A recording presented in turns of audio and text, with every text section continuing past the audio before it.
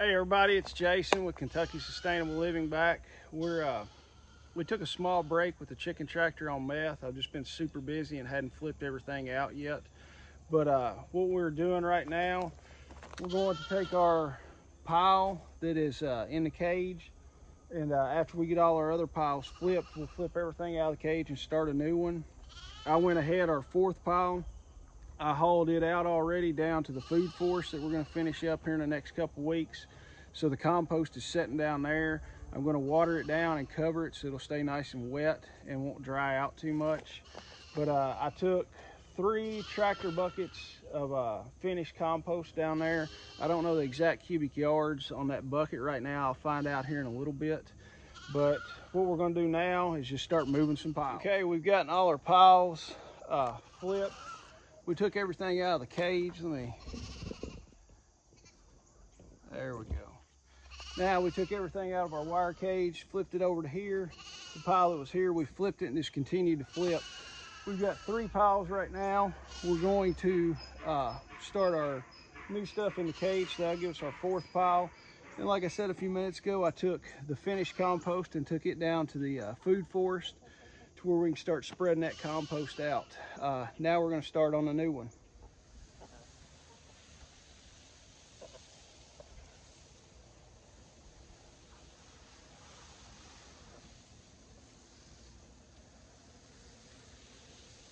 All right, I've just got finished assembling uh, the wire cage. What we did, we put in uh, wood chips, some uh, straw that had been sitting out, some waste straw, and then I took some grass clippings, put those in, watered everything down where it's nice and damp. And now I'm gonna take our other three piles, hose those down, make sure they're nice and damp.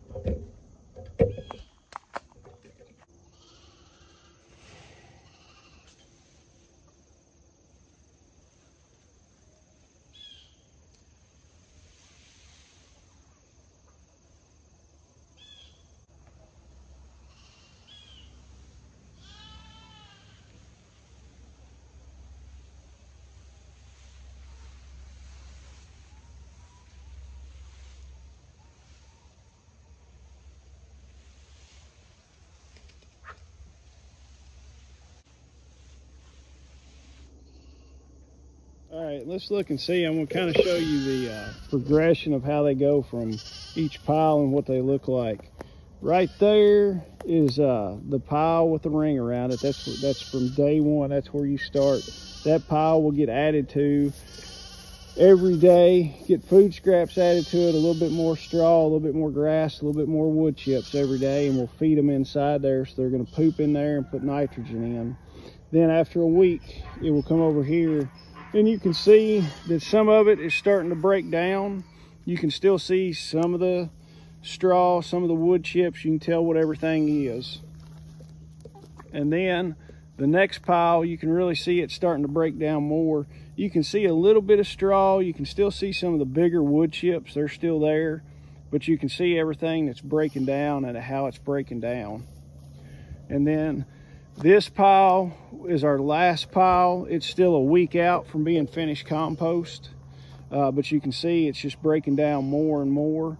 And then after a week, uh, this pile will be ready and it'll be finished compost. All right, we're back. We're walking down here to uh, where I dumped the compost earlier. I'm gonna show you a picture of what the finished compost looks like and then a shot of the food forest as it sets right now. All right, there is a shot of the finished compost, what it looks like. I looked up the tractor specs to try to find the specs on the bucket.